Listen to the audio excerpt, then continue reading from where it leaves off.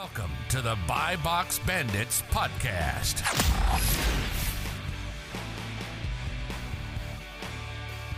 What's going on, everyone? Welcome back to the Buy Box Bandits podcast, episode 180. Let's go, baby. Yes, sir. Right? 180, 180 on the road to 500. Right there. Brought to you by cousin, all out Amazon, Uncle Flips for Miles here. Garrett's copying my outfit for the YouTube viewers as well and uh, such. but we are, uh, it's a pleasure to be joined by our man, Chris Racic here, who's been a full time seller going on four years, uh, which is pretty neat and basically just want to dive into what it actually takes to become a full-time all-in arbitrage seller. I know you and I met about two years ago, and I think we really hit it off yep. that first podcast episode we did. That was really fun. Obviously, we love Chris. We've had him on, Chris Grant. That being, we've had him on a bunch as well, and you guys do the show together. So it's like, all right, makes sense. Let's jam on this stuff, dude. So you just kind of want to fill the audience in on how you got started, your background, who you are, and you know what made you want to get in this crazy world of selling things online. Yeah, you uh you interviewed Chris Grant's Batman, so you got to bring on the Robin, right? uh, so, um, yeah, thanks for having me on. First of all, uh, I appreciate it. Um, yeah, now, um, you know what?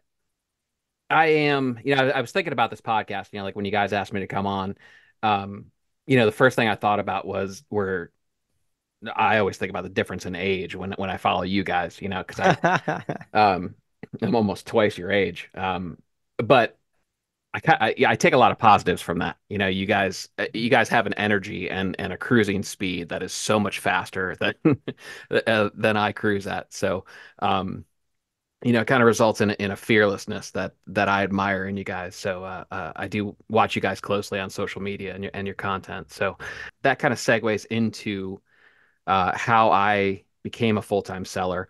Um, because I have I, have got 20 years in in in finance, um, you know, and I kind of, if you know that stereotypical story of, you know, the middle aged guy that that gets stuck in middle management and you know has seven bosses to answer to it, it, you know it's if you've seen like office space and it, like that's not that far from reality uh in some circles and and it certainly wasn't far enough away from my reality um so it, uh, uh, you know, I, I was always interested in side hustles. You know, um, we had a we I used to have a, a fantasy sports group. You know, we did like DraftKings and FanDuel. We did like subscriptions and played a whole lot of that.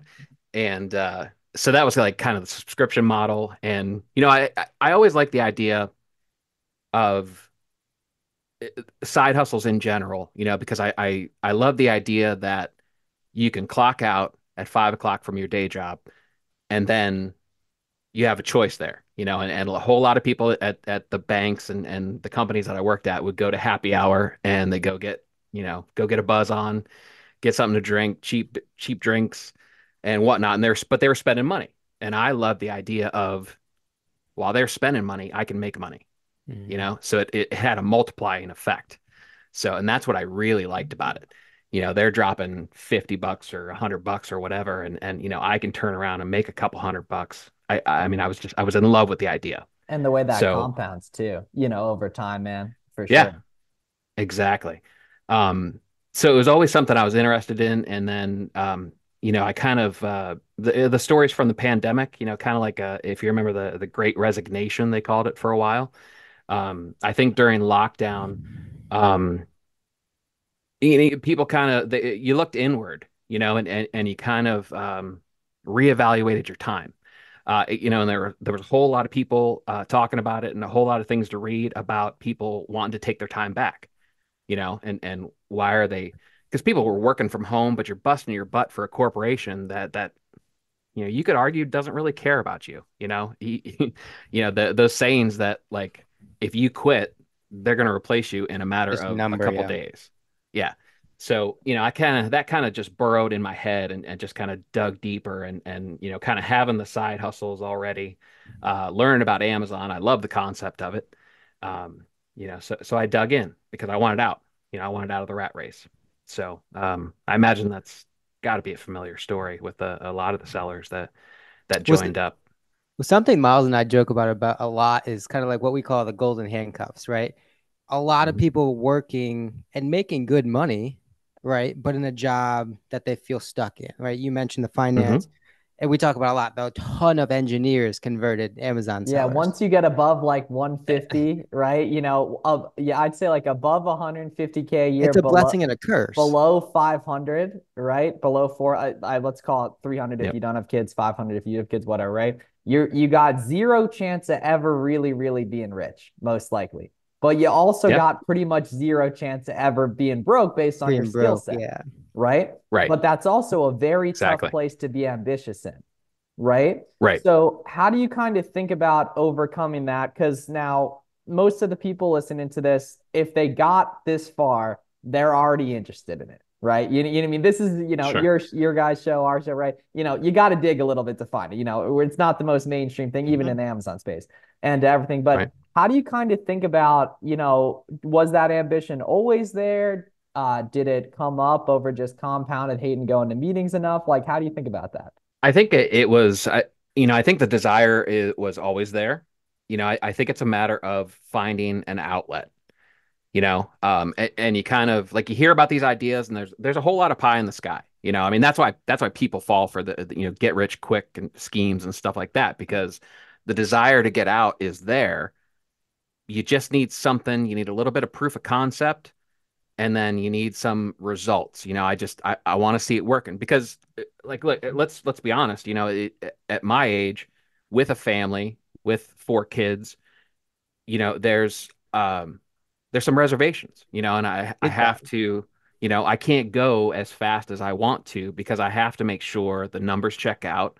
I have to make sure that I'm responsible and you know, because if whether it's real or perception, there's uh if things go sideways or or upside down, that could be devastating. You know, that could that could affect, you know, and, and I have people to think about, you know, eh, children and and you know, spouse and whatnot. So um, you know, so it has to be very controlled, you know. So I'm very uh, I'm very focused on proof of concept, you know, like the but I'll tell you what, that you know, those first couple sales come in and you have your first day and, and you're like, holy crap, It this took me a week to make that at the corporate job. I didn't have to sit in any meetings, didn't have to look at any people or Right. or- Yep. Yeah, you get a quick flip and and and it's great. You know, the great thing about this is that there's so many different ways to get that proof of concept. You know, because I I also had like an eBay store. I still do because that's you know I'll sell my returns and stuff there. And um, you know, I did a little bit of garage sailing too. You know, because I I didn't want to sink a whole bunch of capital in it because I didn't want to be on the hook. You know, I mean that's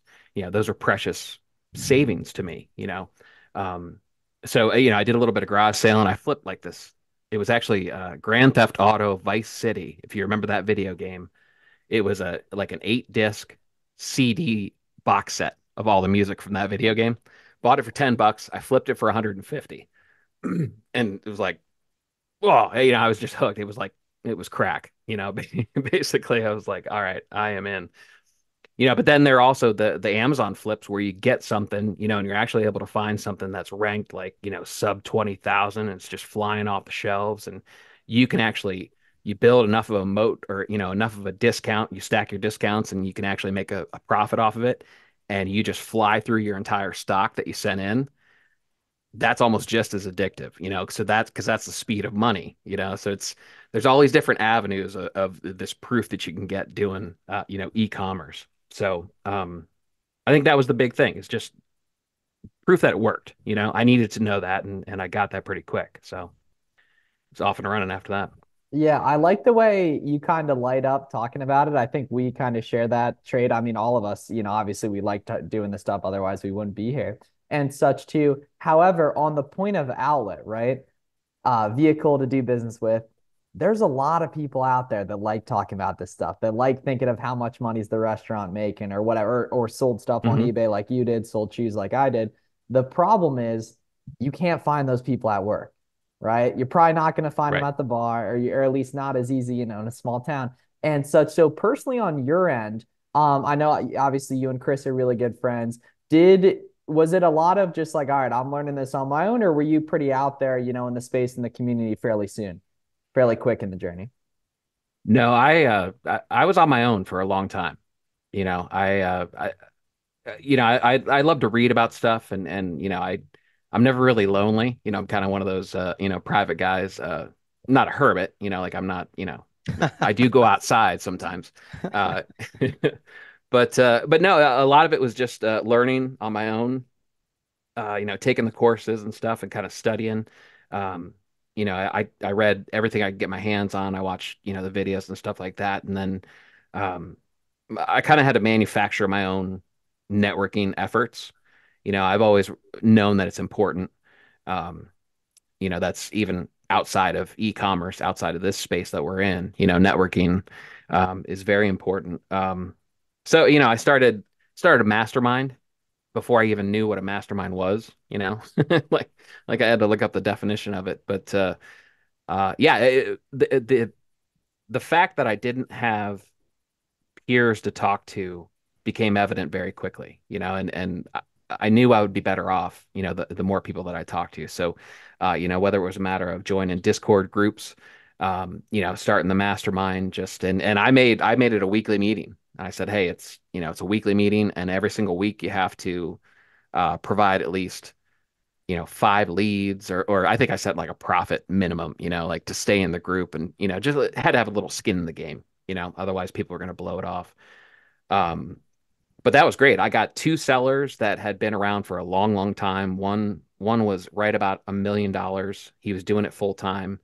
Um, Another one was still had a day job, but he was doing serious volume, just working on it part time. Um, and there was another part-time seller, and then there was a new person with me. So it was it was a great mix. You know, the one important thing to to note was that even though I was a new seller, uh, we the new sellers still had something to offer the older sellers. Always, you know, because always. That's always, what always. they're worried about yeah. to justify their lack of, uh, you know, or, or to justify the massive procrastination yeah. that they're doing. They love saying yeah. that. It's a natural question to ask yourself. Like, what? Why would they want to talk to me? What do I have to offer these guys? You know, these sellers. Um, and what you have to offer is a fresh perspective. You know, you you you just recently taken in all this education. You know, so you're going to have a fresh set of eyes. You're going to remember things. You're going to know things right in the front of your brain that these older sellers have long forgotten you know um it, it's there's there's far more value as a new seller i mean just getting in there, absorb everything you can. Um, but yeah, absolutely don't don't think that that you're not bringing anything to the table because yeah, you absolutely are. Uh, so, because and there's an energy, you know, you're just excited. You know, I was, I was finding all these leads and I was like, hey, you know, sharing everything I could, and, and because I wanted this to work, you know, it's um, that energy is is valuable. You know, it's it's contagious. So let's kind of dig into the phase where you're just starting to like break those handcuffs off, We're just starting to kind of punch through the ceiling. You've already had the proof of concept. You already have some sort of confidence in, in kind of yourself as a business owner, the business mm-hmm. model. And it's like you're looking to take that next step, but it starts to get a little uncomfortable because you see the other side, but you don't necessarily know how to like cross that bridge. And again, I think this is a, a place that a lot of people kind of find themselves in, right? They're maybe mm-hmm. doing 40, 50, 60K a month they're making that 120, 150, and they don't necessarily know how to bash the door open. Let's let's kind of dig into that phase, the awkward phase. Yeah, there's um it, and it's such a wide such a wide range, you know, because if you're if you're one of those people like I was and you're you're at a day job and you're grinding away and you know it's it's just little by little it's eating your soul you know you, you sit there and you think about you think about working for yourself you know and, and there's there's a a romantic quality to it, you know, you, because it's it's an escape, you know. So you kind of you work this fairy tale in your head on how great it's going to be, and um, so then once, however you end up getting there, once you finally pull the trigger, you know, and and, and you put your resignation in, and and you decide that's it. It's you know, sure, it's the weights lifted off your shoulders. You know, there's there's this this rush of of freedom. mm-hmm. Yeah. So and there's all the positives that go with it, right?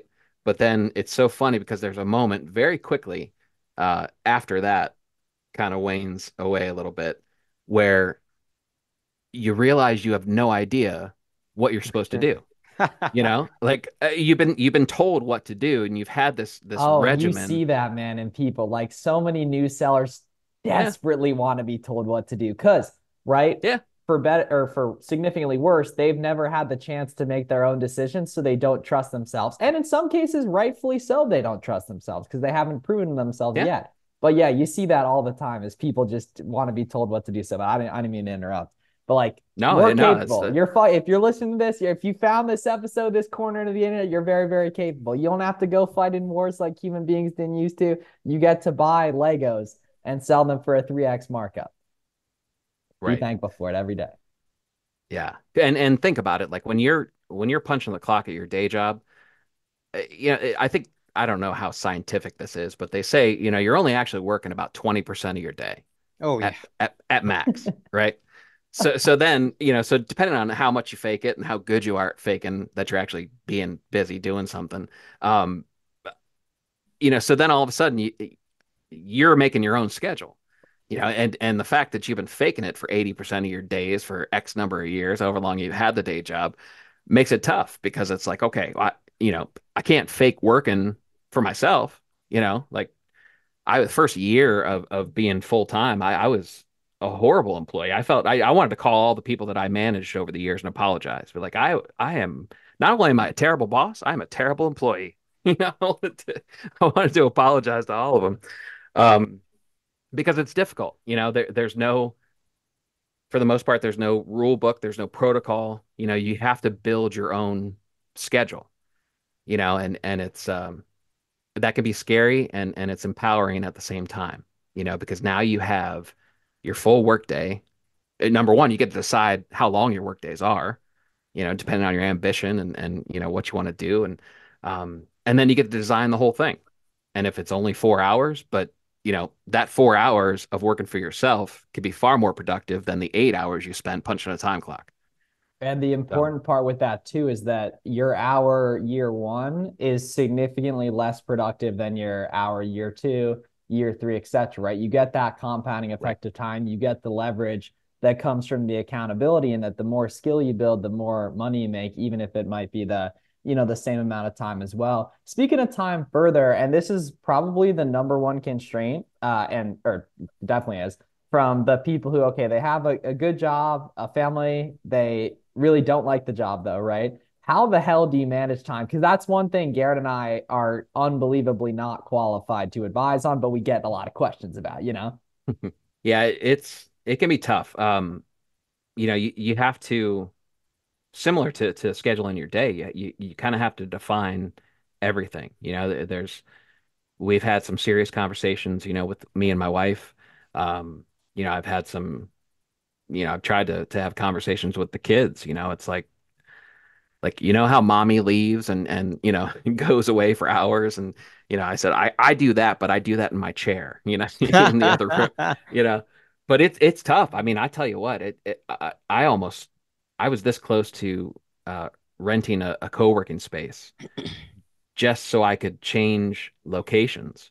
Um because i well she's in kindergarten now but my youngest one um she's only been in kindergarten this year. Um before she was in school that kid ate like once every 45 minutes.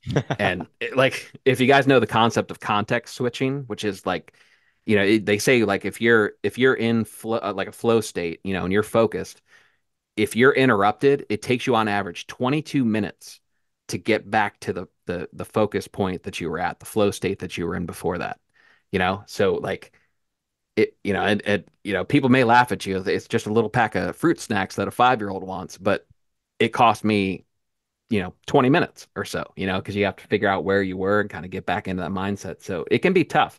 Um a lot of it you have to clearly define it. You know you, you have to define your boundaries define your workday and you have to define like the end of your workday too. You know i think it's important to to define how much is enough you know because it could be tough to to shut it off you know because there's a little bit of guilt sometimes you know like if i'm slacking during the day or something like that and and you know there, there's a little something in the back of my head that knows that I could be making money you know and I probably should be making money you know? So it could be tough to turn off the hustle you know? Not that I'm overflowing with it but you know it's it's we control so much of our income you know? So it's you almost have to give yourself permission to to clock out or or you know sometimes clock in depending on the you know your motivation.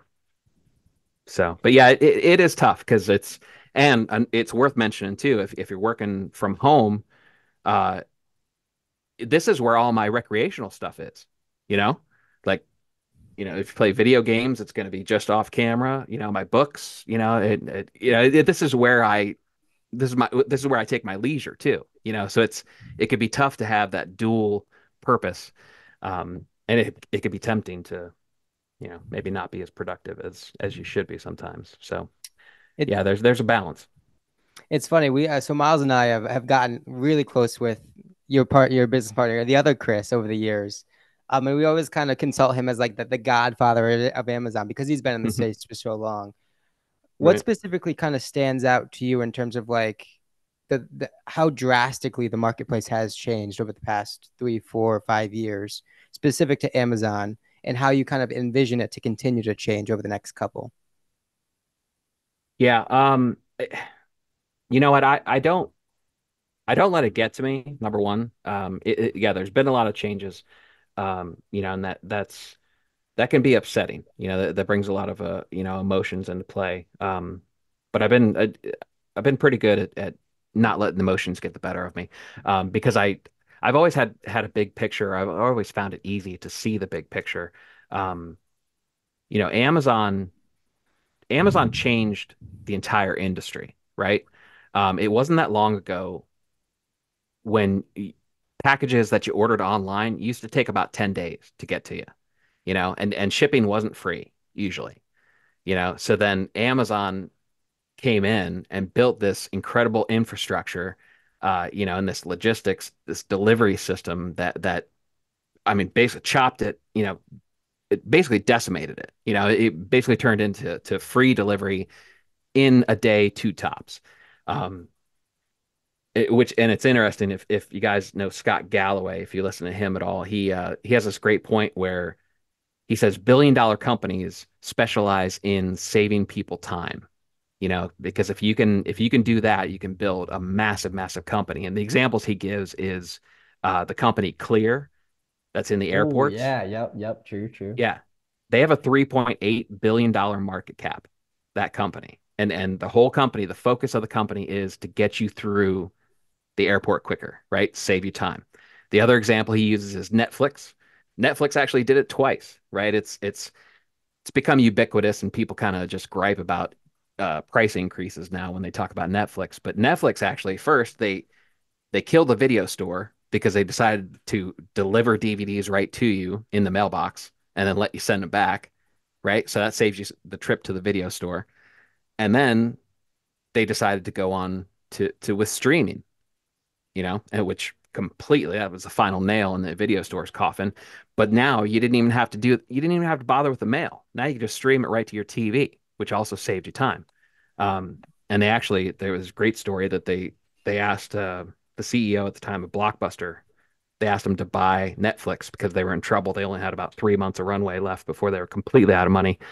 Uh, so they offered it for sale for like I want to say like fifty million dollars to Blockbuster, and and Blockbuster laughed them out of the out of the office. So, and but now Netflix is, I don't know, was it three, four hundred billion dollar market cap? Yeah, it's interesting because they that... because they save time. Yeah, right, exactly. Know? And there's there's context to that too with Amazon. How like when you're a new seller, you sell books typically back in the day, and then retail mm-hmm. arbitrage takes more time, but the products sell quicker, so you save time technically.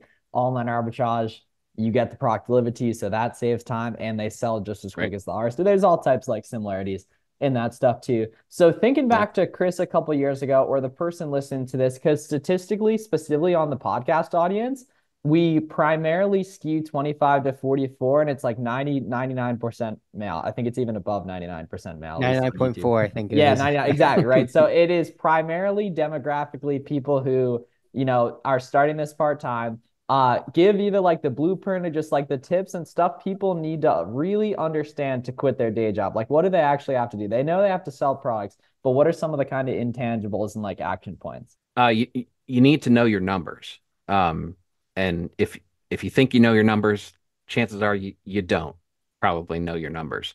Um, that's that's the key to scaling. Um, yeah, because the worst thing you want to do is is get ready to make the jump and turns out you're not making as much as you think you were, right? Um, and and you really need to kind of you need to understand the, the little stuff you know whether whether you end up outsourcing it or, or getting ready to outsource it um, you know think of everything as uh, uh, assign a dollar amount to every task you know and um, and you can get a pretty good estimate if you know your numbers which that's another positive of, of, of knowing what they really are um, you know assign a, a, a dollar you know a, a value to every task and then constantly ask yourself does it make sense for me to do this task or am I better off outsourcing this? You know, and that goes to, to as far as your bookkeeping goes, um, as far as your returns go, um, make sure you stay up on your returns because uh, that's kind of a sneaky little leak in the boat if you're not oh, active on that. Yeah. Um, you know, your death pile, you can laugh about your death pile, or, you know, in my case, my wife gives me the hairy eyeball, you know, and as the, the death pile kind of creeps out into the rest of the house. But that is capital. That's that's your bottom line right there. You know, so you need to get that as fast, you know, as much as you concentrate on your Amazon stock and and selling that and turning it over as fast as possible. You need to take the same that same um, aggressiveness with your death pile. You know, because it, it's even if you're taking a loss and it's not the it's not the sexy sales, but it's the stuff that could keep you afloat. You know, and kind of get you breaking through to the next plateau of, of where you want to eventually be. You know, and, and make sure that you you you know you have your schedule you know, the, the best part, like we talked about when when it's you know it's difficult to when you're self-employed knowing what to do you know because you've been told what to do the whole time um, the great thing about starting part-time is you have you've done all this stuff in such a concentrated period of time you know whether it be a couple hours after your kids are, are in bed or whatnot. But i've always said part starting this part-time it's it's probably the greatest part-time job ever. And starting part-time is such an advantage for when you go full-time right? Because you've you've had all this stuff concentrated into little pockets of time because that's six all you have. 10 6 to 12 yeah. yeah. right. So now once you finally uh, quit your day job and you now you've opened up the entire day but mm-hmm. you know you can do it in two or four hours or whatever you've been doing how much it. more can you do in a whole day with right. more energy now now you're talking about multipliers you know now you're going to compound it right so or or if i think it's uh, what is it uh, but it's basically there's this law that says uh, whatever task you have will expand That's to take so up facts so the amount of time that you allow it right so don't let that four hours of work stretch out to eight you know because that's you're gonna you're gonna pop the, the the balloon of your dream you know it, it, if you you know you you were able to do it in four so now you can do twice the amount of work if you decide that it's eight or one and a half, and if you decide it's six and you want more free time, or whatever your you know. Your well, that's personal... kind of the principle that Profit First was written off of. Like you kind of mm-hmm. force it into to fit into that little the peg, and then you just make it work, and you end up being way, way more efficient, way more productive. You just make it happen. Right. Yep. Yeah. Make sure. Yeah. Once you once you pull the plug on the on the day job, man, just keep the same, stay at the same speed, and you know you'll eventually accomplish what you were you were hoping to in the beginning. That's uh, that's a big key right there. Yeah. See, now the neat part about this whole podcast is we didn't talk too much super tactical Amazon wise, right? Like I, I think um, you know, sometimes we might dive a little bit too deep into that and such, but we talked a lot about specifically like the dream outcome, which for a lot of people is quitting the nine to five and such, right? So I think that stuff mm-hmm. was uh, pretty valuable and everything. And where can people follow you on social media and check out what you got going on podcast wise as well?